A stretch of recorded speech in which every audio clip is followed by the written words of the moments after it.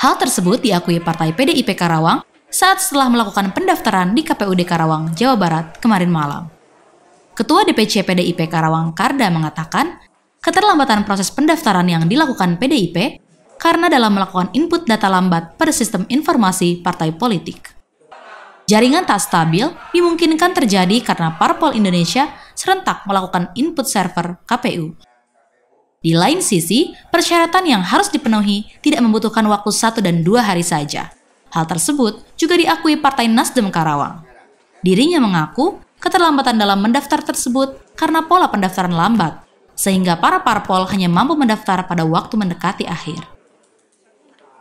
Kalau kayak sehat rohani jasmani kan, kalau untung aja untuk uh, Kerawang ini punya rumah sakit tipe ya kelas uh, C ya, Nah kalau untuk kabupaten lain gimana? Berarti kan jauh. Nah itu prosesnya tidak selesai satu dua hari bisa mingguan kan dan numpuk di rumah sakit. Nah ini kejadian.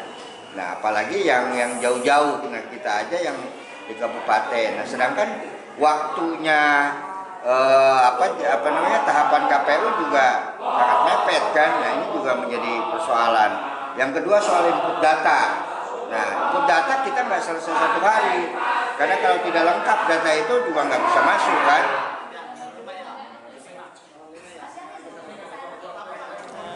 Yaitu uh, mungkin kalau ada berkas-berkas yang kurang nanti bisa kita ada jeda waktu untuk diberikan melengkapi berkasan. Dan sekarang uh, memang kita Nasdem di hari ini hampir menyelesaikan semua wakil dari 50 calon anggota eh, DPRD Kabupaten Kerawang setiap wakil kuota perempuan juga sudah terpenuhi tinggal kita melakukan konsolidasi untuk pemetaan wilayah eh, kemenangan kita. Meski menemui kendala, sejumlah parpol telah menjalankan mekanisme yang berlaku.